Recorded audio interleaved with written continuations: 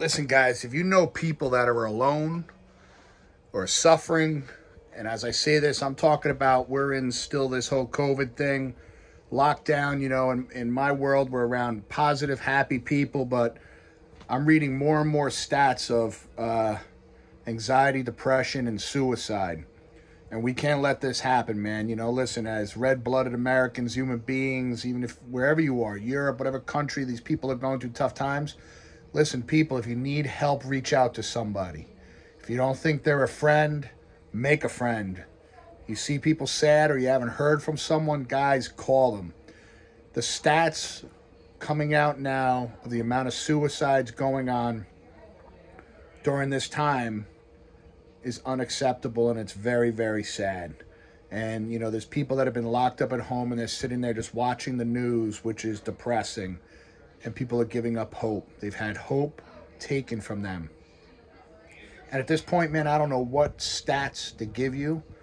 Who's right, who's wrong. They're saying now the CDC, you know, they keep changing the numbers, and numbers of deaths from the actual virus have dropped. You know, they say survival rates are up or, over 98%. You know, don't quote me on this because it's all going to change tomorrow and the next day, and we're going to wake up a year from now and everything's going to change again. These people are going to change everything. But there's people that have no control and they're living in fear and they think it's like we're under this massive attack, which we know we're not under a massive attack. And there's no reason for someone to take their life. And, you know, people are losing their life savings, their businesses. Let's help them, man. Like, reach out to them, your local business owners, whoever they are Let's support each other. Let's pull this thing together and come through this thing together.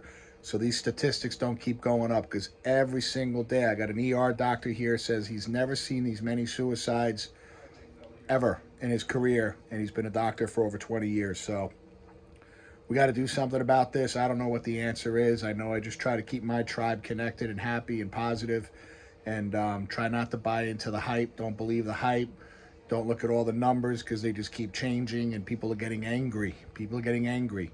And we just got to open it up, man, and get back in and have faith in our body's wisdom to defend and take care of itself because these guys don't have the answer. So let's work together on this.